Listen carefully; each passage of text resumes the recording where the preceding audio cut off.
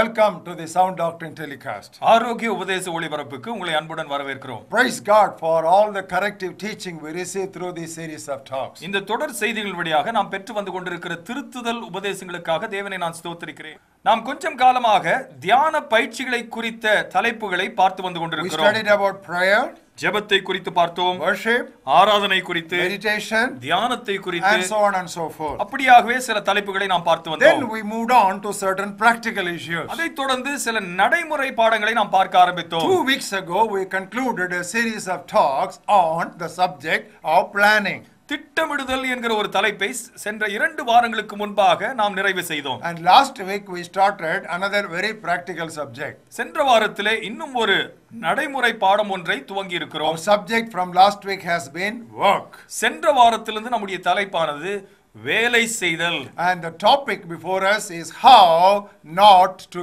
work. நமக்கு முன்பாக இருக்கிற தலைப்பு எப்படி வேலை செய்யக்கூடாது Last week we studied lesson number one. சென்ற வாரத்திலே முதல் பாடத்தை நாம் பார்த்தோம் Do not over differentiate between the sacred and the secular. உலக பிரகாரமான வேலை ஆன்மீக வேலை என்று அளவுக்கு அதிகமாக வித்தியாசப்படுத்த கூடாது Today we will move on to lesson number. இன்றைக்கு நாம் இரண்டாவது பாடத்துக்கு கடந்து செல்கிறோம் How not to work. எப்படி வேலை செய்யக்கூடாது Do not be satisfied with average performance. சராசரியாய் எதையும் செய்வதில் திருப்தி அடையக்கூடாது Once again, மீண்டுமாய் do சொல்கிறேன் not be satisfied with average performance. சராசரியாய் எதையும் செய்வதில் திருப்தி அடையக்கூடாது Beloved, we want to make a statement. God's will for His people is always excellence. பிரியமானவர்களே இந்த இடத்துல ஒரு கூற்றை சொல்ல விரும்புகிறேன் தேவனுடைய சித்தமானது அவர்களுடைய ஜனத்தை பொறுத்த மட்டிலே எப்பொழுதுமே நேர்த்தியாய் விளங்குதல் Now that's what exactly we read in book of Proverbs 22nd chapter. இதுதான் நீதிமொழிகளின் புத்தகத்துல இருபத்தி ரெண்டாவது அத்தியாயத்தில் நாம் பார்க்கிறோம் Look at the 29th verse. இருபத்தி ஒன்பதாவது வசனத்தை பாருங்கள் Do you see a man who excels in his work? தன் வேலையில் ஜாக்கிரதையாய் இருக்கிறவனை நீ பார்த்திருக்கிறாயா And he will stand before kings, he will not stand before unknown mean men. அவன் நீசருக்கு முன்பாக நில்லாமல் ராஜாக்களுக்கு முன்பாக நிற்பான் Beloved, about anything that is defective or substandard, we normally satisfy ourselves or we settle down to it saying, oh, that's okay. பிரியமானவர்களே அநேக சமயங்களில் தரகுறவாக இருக்கிற தவறாக நடைபெறுகிற காரியங்களை பார்க்கும்பொழுது நாம் அப்படியே பரவாயில்லை என்று சொல்லி விட்டு விடுகிறோம் You know, so many Indian languages have the same word. அநேக இந்திய பாஷைகளிலே இதே வார்த்தை காணப்படுகிறது In Telugu, it is paravaledu.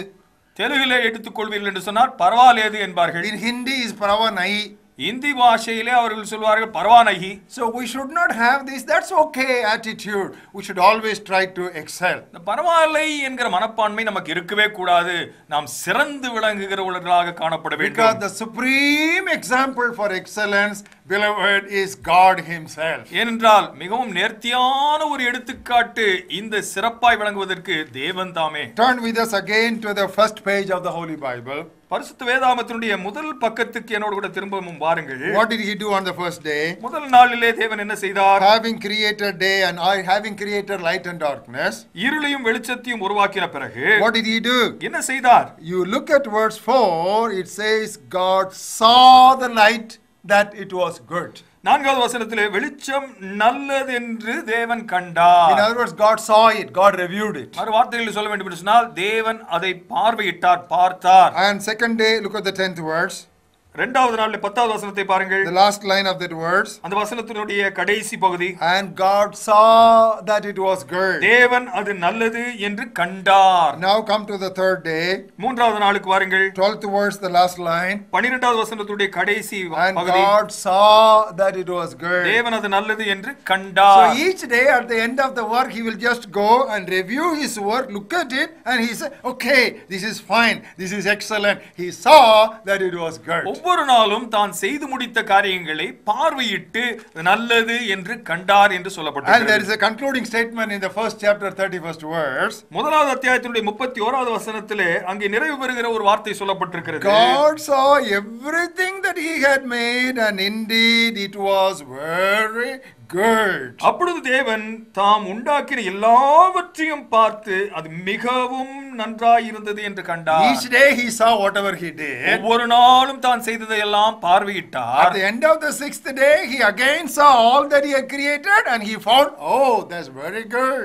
ஆறாவது நாள் மீண்டுமாய் தான் செய்த எல்லாவற்றையும் பார்த்து மிகவும் நன்றாயிருக்கிறது என்று பார்வையிட்டு சொல்கிறார் And then he suddenly found there is something which was not good. அதைத் தொடர்ந்து ஏதோ ஒன்று சரியாக இல்லை நேர்த்தியா இல்லை என்கிறதை பார்க்கிறார் He found that it is not good for man to be alone. மனிதன் தனியா இருப்பது நல்லது அல்ல என்று So கண்டார் he immediately he improved on that situation. அந்த ஒரு சூழ்நிலையை அவர் சிறப்பிக்கிறதை பார்க்கிறோம் We should have that same mentality. அந்த ஒரு மனோபாவம் நமக்கும் இருக்க வேண்டும் Suppose we do some work ஏதாவது ஒரு வேலையை நாம் செய்யும் பொழுது and we find it is not up to the mark. அது ஒரு திருப்திகரமாக இல்லை என்று நாம் கண்டிருக்கிற பொழுது We should not just leave it like that. Okay, let it take care of itself.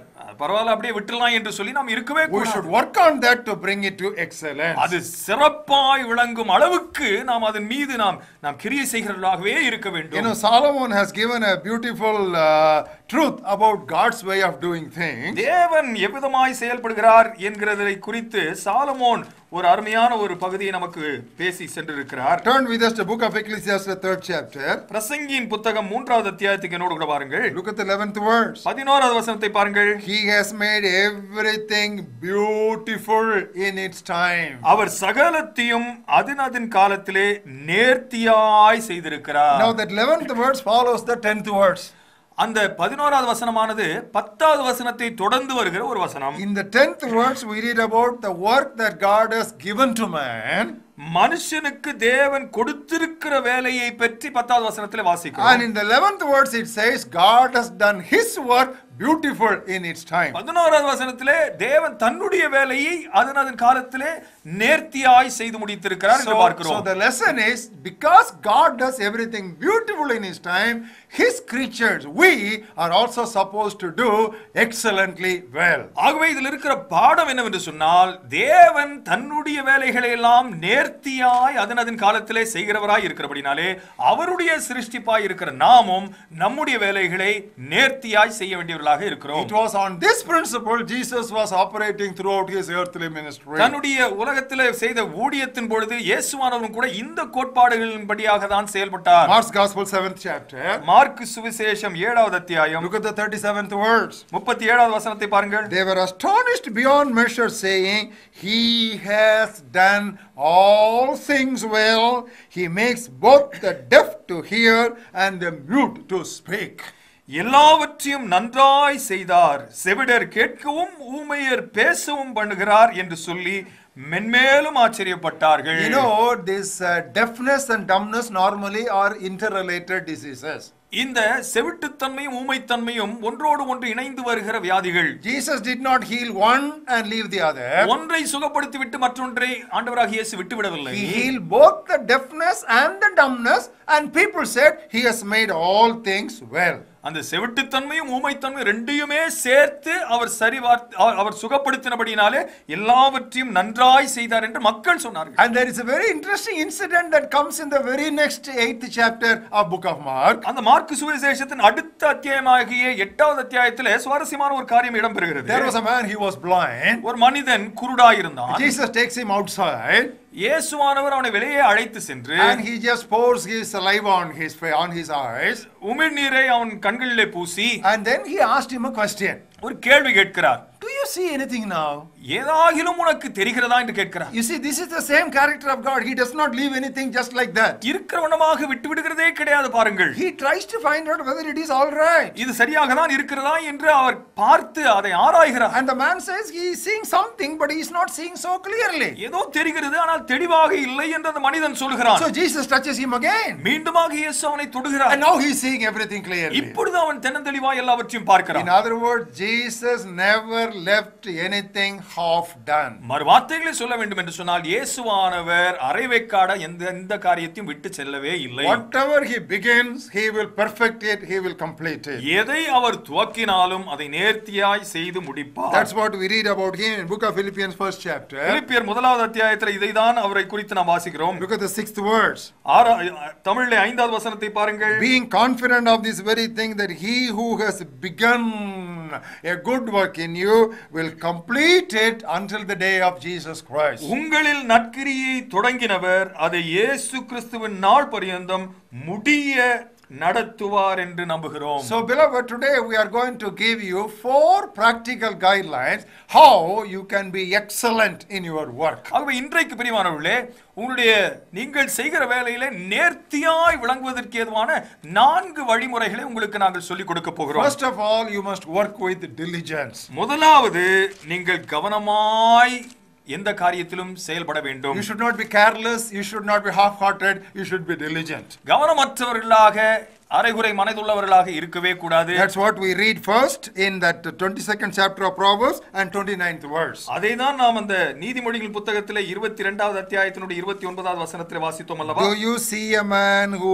excels in his work? தன் வேலையில் ஜாக்கிரதையாய் இருக்கிறவனை நீ கண்டால் He will stand before kings, you know, he will keep on getting promotion, he will go up and up because he's good in his work. அவன் ராஜாக்களுக்கு முன்பாக நிற்பான் என்று சொன்னால் அவன் தொடர்ச்சியாக அவன் முன்னேறிக் கொண்டே செல்கிறான் He will not be half hearted in whatever he is doing. தான் செய்கிற எந்த ஒரு காரியத்திலும் அவன் அரை மனதுள்ளவனாக இருக்க மாட்டான் Turn with us to Second Chronicles to meet a king who was wholehearted in everything he did. ஒரு ராஜாவை அவன் தன் செய்த எல்லா காரியத்திலும் முழுமனதாய் செய்தவனாக இருந்த ஒரு ராஜாவை பார்க்க எங்களோடு Second. Chronicles 31st chapter. ரெண்டு நாளாகமம் இருப- முப்பத்தி ஓராவது அத்தியாயம் Look at the 21st verse. இருபத்தி ஓராவது வசனத்தை Here பாருங்கள் we read about a testimony about King Hezekiah. எசேக்கியா ராஜாவை குறித்த ஒரு சாட்சியை பார்க்கிறோம் In every work that he began in the service of the house of God, in the law and in the commandment, to seek his God, he did his with all his heart.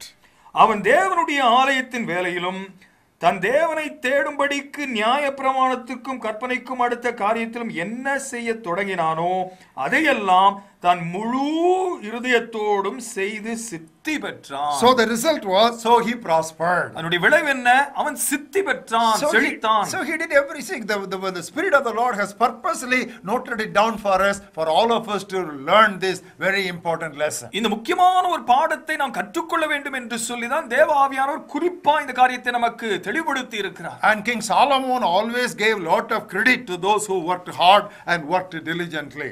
அந்த அந்த வண்ணமாக ஊக்கமாய் வேலை செய்தவர்களுக்கு Solomon ராஜா எப்பொழுதுமே பாராட்டு அறிவித்ததாக நாம் பார்க்கிறோம் Turn with us to First Kings to look at some examples. ஒன்று ராஜாக்களின் புத்தகத்துக்கு ஒரு சில உதாரணங்களை பார்க்கும்படியாக என்னோடு கூட வாருங்கள் Look at the seventh chapter.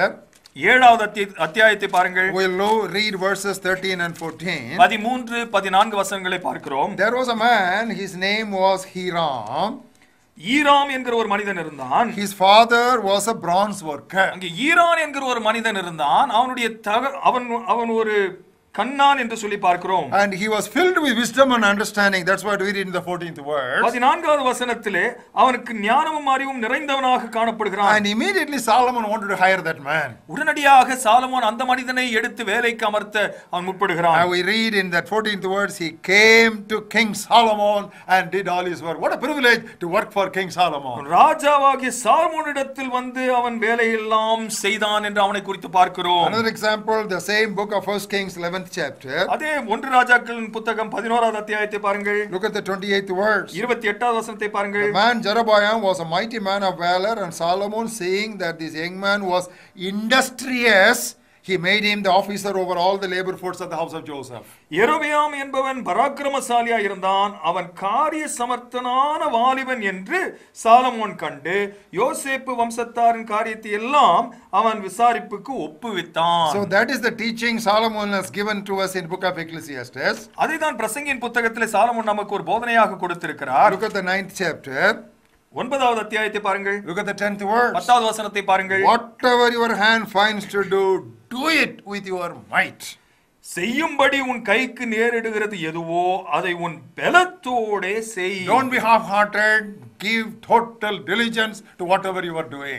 அரை மனதோடு கூட எதிலும் ஈடுபடக்கூடாது முழு மனதாய் எதிலும் ஈடுபட வேண்டும் Number two, இரண்டாவதாக how can we excel in whatever we do? செய்கிற காரியங்களை எப்படியாக நாம் நேர்த்தியாய் விளங்க முடியும் By spending enough of time in learning and in training. நாம் அநேக அதிகமான நேரத்தை கற்றுக்கொள்வதிலும் பயிற்சி பெற்றுக்கொள்வதிலும் செலவிட வேண்டும் Skill and gifting alone is not sufficient, beloved. We want you to understand. நமக்கு இருக்கக்கூடிய வரங்கள் மட்டுமே போதாது We need to sharpen the skills and gifts that God has given. தேவன் நமக்கு கொடுத்திருக்கிற ஆற்றல்கள் திறமைகளை நாம் கூர்மைப்படுத்த வேண்டும் Look at the 10th chapter of Ecclesiastes. பிரசங்கின் புத்தகம் பத்தாவது அத்தியாயத்தை பாருங்கள் Look at the 10th verse. பத்தாவது வசனத்தை பாருங்கள் If the axe is dull, one does not sharpen the earth, then he must use more strength. But wisdom brings success. இருப்பாயுதம் மழுங்கலாய் இருக்க அதை ஒருவன் தீட்டாமல் போனால் அதிக பலத்தை பிரயோஜனம் பண்ண வேண்டியதா இருக்கும் a woodcutter takes an axe and he wants to just cut a tree. ஒருவேளை ஒரு மரங்களை வெட்டுகிறவன் ஒரு கோடரை எடுத்துக்கொண்டு மரத்தை வெட்ட முற்படும் பொழுது it is blunt, அது ஒருவேளை மொக்கையாக இருக்கும் என்று oh, he சொன்னால் has to use a lot of strength. அதிகமான பலத்தை பயன்படுத்த வேண்டியது be இருக்கும் wasting his energy. தன்னுடைய பலத்தை எல்லாம் அவன் வீணடித்துக் கொண்டிருப்பான் On the other hand, மாறாக if he takes some time to sharpen that axe, அந்த கோடரையே அவன் கூர்மைப்படுத்த கொஞ்சம் நேரம் எடுத்துக்கொண்டால் then it will be done very fast. அந்த வேலையை அவன் துரிதமாக செய்து The work முடிக்கலாமே also will be beautiful. வேலையும் அழகாக இருக்குமே So, beloved, wherever there is a possibility for learning and training, put yourself into it so that you can improve on your skill. ஆகவே பிரியமானவர்களே எந்தெந்த இடத்திலெல்லாம் நீங்கள் கற்றுக்கொள்ள முடியுமோ பயிற்சித்துக் கொள்ள முடியுமோ அதெல்லாம் நீங்கள் நேரத்தை செலவழித்து இன்னும் நேர்த்தியாய் விளங்க நீங்கள் முற்படுங்கள் If God has called you to speak to people, ஜனங்களிடத்தில் பேசும்படியாக தேவன் உங்களை அழைத்திருந்தால் try to read books which speak about how to speak better. இன்னும் திறமையாய் பேசுவதற்காக எழுதப்பட்டிருக்கிற புத்தகங்களை வாங்கி படித்துக் கொள்ளுங்கள் Suppose you want to write, நீங்கள் எழுத முற்படுகிறவர்களாக இருப்பீர்கள் ஆனால் try to get a book which speaks to you or teaches you how to write better. இன்னும் நேர்த்தியா எழுதுவதற்கான திறமைகளை கற்றுக் கொடுக்கிற புத்தகங்களை வாங்கி வாசியுங்கள் Wherever there are seminars and training programs, go and attend the such programs. அதை உங்களுக்கு கூர்மைப்படுத்தக்கூடிய கருத்தரங்கங்கள் இருக்கும் அதில் நீங்கள் கலந்து கொண்டு அந்த திறமையை வளர்த்துக் கொள்ளுங்கள் And women have lot of opportunities. பெண்களுக்கு அநேக வாய்ப்புகள் உண்டு You can go and attend cooking classes. நீங்கள் சமையல் பாடங்களை நீங்கள் சென்று படித்துக் கொள்ளலாம் And you can read cookery books. நீங்கள் சமையல் புத்தகங்களை வாங்கி படிக்கலாம் Don't stagnate saying, oh, this is how we have always been doing. இப்படியே தேக்கம் அடைந்து இப்படிதான் நாங்க எப்பொழுதுமே இருந்திருக்கிறோம் And this is what we are doing in our place. எங்க ஊர்ல எல்லாம் இப்படிதான் Now, that is not how we should. We should try to improve. We should go become better and better. இப்படியாக நாம் இருக்கவே கூடாது நாம் இன்னும் நேர்த்தியாய் சிறந்து விளங்கும்படியாக நாம் முற்பட்டு கொண்டே இருக்க வேண்டும் And I want to address students here. இந்த இடத்துல மாணவர்களுக்கு மாண மாணவிகளுக்கு நான் ஒரு காரியத்தை God has given us wisdom. God has given us intelligence. தேவன் நமக்கு அறிவை கொடுத்திருக்கிறார் He has given us wisdom. நமக்கு ஞானத்தை கொடுத்திருக்கிறார் And if you just let it sleep and idle, you're not going to make grades. நீங்க அப்படியே நீங்கள் அதை அந்த அறிவை எல்லாம் அந்த ஞானத்தை எல்லாம் தூங்க விடுவீர்கள் என்று சொன்னால் உங்களுக்கு எந்த மதிப்பெண்களும் கிடைக்க போகிறது இல்லை. Intelligence alone is not sufficient. அறிவு மாத்திரம் போதாதே You should be industrious also. நீங்கள் அயராது உழைக்க வேண்டும் Only intelligence and industriousness together will bring you great success. அறிவும் அயராத உழைப்பும் தான் உங்களுக்கு வெற்றியை சிறக்க And when tell you something, don't get irritated. Learn the, oh, that's a good method of doing it. மூத்தவர்கள் ஏதாவது உங்களுக்கு அறிவுரை சொன்னால் அது உங்களுக்கு எரிச்சலை ஊட்டக்கூடாது இது நல்ல ஒரு காரியம் என்று சொல்லி நீங்கள் கற்றுக்கொள்ள வேண்டும் always value the experience of elder people. மற்ற மூத்தவர்கள் சொல்லுகிற அறிவுரை நீங்கள் எப்பொழுதும் மதிப்பிட்டு நீங்கள் எடுத்துக்கொள்ள வேண்டும் And the third way by which you can excel in your work, மூன்றாவது ஒரு விதம் நீங்கள் நேர்த்தியாய் விளங்குவதற்கான ஒரு வழிமுறை need a healthy competition. நீங்கள் ஆரோக்கியமான ஒரு போட்டி மனப்பான்மையிலோடு கூட ஈடுபட வேண்டும் Don't try to always compare yourself and yourself by yourself and saying, oh, I am all right, this is fine. உங்களை உங்களோடவே நீங்கள் ஒப்பிட்டு நான் நன்றாக தான் செயல்படுகிறேன் என்று சொல்லி திருப்தி அடையக்கூடாது Try to compare yourself with those who are doing still better. உங்களை விட சிறந்து விளங்குகிறவர்களோடு கூட உங்களை ஒப்பிட்டுக் கொள்ளுங்கள் Now that is a lesson we have in book of Second Corinthians, 10th chapter. ரெண்டு கொரிந்தியர் பத்தாவது அத்தியாயத்துல இந்த ஒரு பாடம் நமக்கு சொல்லப்பட்டிருக்கிறது All these things are for us in this old Bible. இந்த பழமையான வேத புத்தகத்திலே இந்த அறிவுரைகள் எல்லாம் நமக்கு கொடுக்கப்பட்டிருக்கிறது Look at the 12th words. பன்னிரெண்டாவது வசனத்தை பாருங்கள் We dare not class ourselves or compare ourselves with those who commend themselves, for they measuring themselves by themselves and comparing themselves among themselves, they are not wise. ஆகிலும் தங்களை தாங்களே மெச்சிக்கொள்ளுகிற சிலருக்கு நாங்கள் எங்களை சரியாக்கவும் ஒப்பிடவும் துணி துணிய மாட்டோம் தங்களை கொண்டு தங்களை அளந்து கொண்டு தங்களுக்கே தங்களை ஒப்பிடுத்துக் கொள்ளுகிற அவர்களுக்கு புத்திமான்கள் அல்ல you should always try to do better than what others are doing மற்றவர்கள் செய்கிறதை விட நீங்கள் சிறந்து விளங்க வேண்டும் Now that is the spirit of healthy competition. அதுதான் ஒரு ஆரோக்கியமான போட்டி மனப்பான்மை Now there are there are four evangelists whose books are given to us in the opening pages of the New Testament. புதிய ஏற்பாட்டில் நமக்கு நான்கு சுவிசேஷர்களுடைய புத்தகங்கள் வரிசையாக கொடுக்கப்பட்டிருக்கு Matthew, Mark, Luke, and John. மத்தேயு மார்க்கு லூக்கா யோவான் And we are told that in history there were even several others who wrote about the life of Jesus. சரித்திரத்தில் நமக்கு சொல்லப்பட்டிருக்கிறது இயேசுவானவருடைய வாழ்க்கையை பற்றி இன்னும் அநேகரும் எழுதி இருக்கிறார்கள் But there was a man by name Luke. ஆனா லூக்கா என்கிற ஒரு மனிதர் இருந்தார் He was a medical doctor. அவர் ஒரு மருத்துவர் And he also had an interest in writing history. அவர் சரித்திரத்தை எழுதுகிறதிலும் ஒரு ஆர்வம் கொண்டவர் Why did he want to write? ஏன் அவர் எழுத விரும்பினார் Turn with us to Gospel according to Luke, even the first chapter. லூக்கா சுவிசேஷத்தினுடைய முதல் அத்தியாயத்துக்கு என்னோட கூட பாருங்க We'll read the first few verses. முதல் ஒரு சில வசனங்களை வாசிக்கிறேன் In as much as many have taken in hand to set the order and narrative of those things which are most surely believed among us, just as those who from the beginning were eyewitnesses and ministers of the word delivered them to us, it seemed good to me also, having had perfect understanding of all things from the very first, to write to you an orderly account, most excellent Theophilus. மகா கனம் பொருந்திய தியோப்பிலவே நாங்கள் முழு நிச்சயமாய் நம்புகிற சங்கதிகளை ஆரம்பம் முதல் கண்ணார கண்டு வசனத்தை போதிக்கிறவர்கள் எங்களுக்கு ஒப்புவித்தபடியே அவைகளை குறித்து சரித்திரம் எழுத அநேகம் பேர் ஏற்பட்டபடியினால் ஆதி முதல் எல்லாவற்றையும் திட்டமாய் விசாரித்து அறிந்த நானும் உமக்கு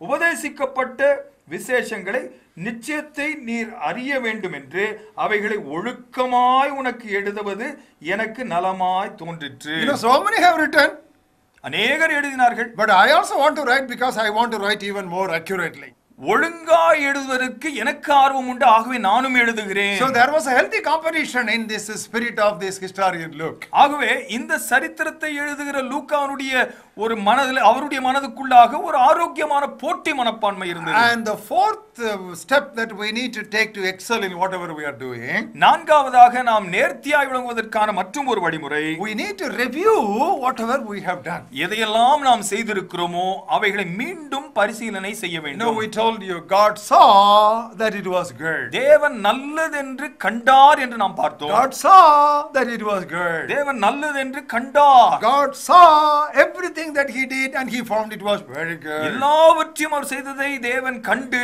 அது மிகவும் நல்லதாய் இருக்க கண்டார் And if he finds something that is not so good, he immediately improves on that. ஏதோ ஒன்று அவ்வளவு நேர்த்தியா இல்லை என்கிற பொழுது அதை அவர் சிறப்பிக்க And முற்படுகிறார் there is a blind man. ஒரு குருடன் இருக்கிறான் What does he do? என்ன செய்கிறார் He asked him whether he saw anything. எதையாகிலும் பார்க்கிறாயா என்று கேட்டார் Now, we all know how students, even if they pass the exam, in order to get higher grades, they rewrite their exams. You know that, isn't it? எல்லாருக்கும் தெரியும் மாணவர்கள் பரீட்சை எழுதி முடித்த பிறகு நல்ல மதிப்பெண்களை பெறவில்லை என்று சொன்னால் இம்ப்ரூவ்மெண்ட் எழுதுகிறார்கள் Now, that is the spirit that we should have as God's people. தேவ ஜனங்களாய் இருக்கிற நமக்கு அந்த விதமான ஒரு மனப்பான்மை இருக்க வேண்டும் Once I was attending a workshop that was conducted exclusive for writers. எழுத்தாளருக்கென்று ஒரு கருத்தரங்கு நடத்தப்பட்டது அதிலே நான் கலந்து கொண்டேன் Many things what was taught there I forgot, but there is a statement which I never ever forget. அங்கே சொல்லப்பட்ட அநேக காரியங்களை நான் மறந்து விட்டாலும் கூட ஒரு கூற்று அந்த இடத்துல சொல்லப்பட்டது அதை நான் மறக்கவே இல்லை You know what was that resource person said? அங்கே சொல்லப்பட்ட அந்த அந்த கருத்து என்ன தெரியுமா No good article is ever written, it is always rewritten. எந்த ஒரு நல்ல கட்டுரையும் அது எழுதப்படுவதில்லை அது மீண்டும் எழுதப்படதான் Oh, செய்யப்படுகிறது that's a wonderful statement. That has helped me a lot in my own writing ministry. அது எனக்கு அருமையாக ஒரு உதவி செய்த ஒரு அருமையான கூற்றாக So, அமைந்திருக்கிறது in my life, I have found that no good article I have ever written, it is always rewritten, and sometimes it is re rewritten.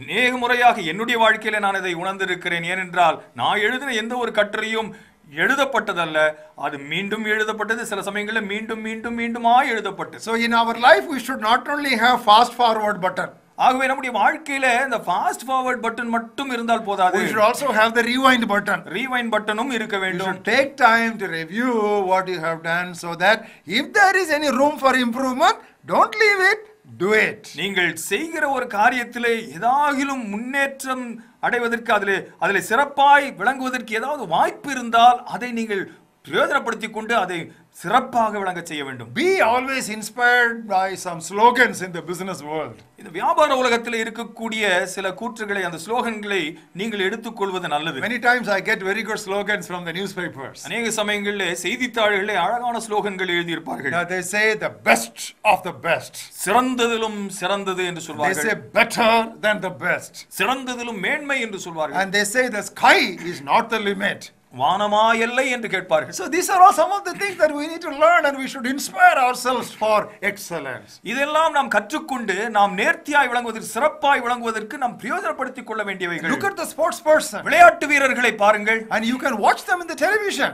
தொலைக்காட்சியில நீங்கள் பார்க்க முடியும் You should not be interested to see who wins and who does not win. யார் ஜெயிக்கிறார்கள் யார் தோற்று போகிறார்கள் என்பதை நீங்கள் பார்த்துக் கொண்டிருக்க Catch their spirit. அவளுக்கு இருக்கக்கூடிய அந்த ஆர்வத்தை பாருங்கள் How they just throw themselves totally into the task. முற்றிலுமாக தங்களையே அந்த அந்த வேலையில முழுமையாக அவர் ஈடுபடுத்திக் கொள்கிறதை நீங்கள் கவனித்து பார்க்க That was Apostle Paul's method also. அதுதான் அப்போஸ்தலனாகிய பவுலனுடைய முறையும் கூட Turn with us to 1 Corinthians 9th chapter. ஒன்று கொரிந்தியர் ஒன்பதாவது அத்தியாயத்துக்கு என்னோடு கூட வாருங்கள் Look at verses 24 and 25. இருபத்தி ஐந்து இருபத்தி நான்கு இருபத்தி ஐந்து வசனங்களை பாருங்கள் Don't you know that those who run in a race all run, but one receives the prize?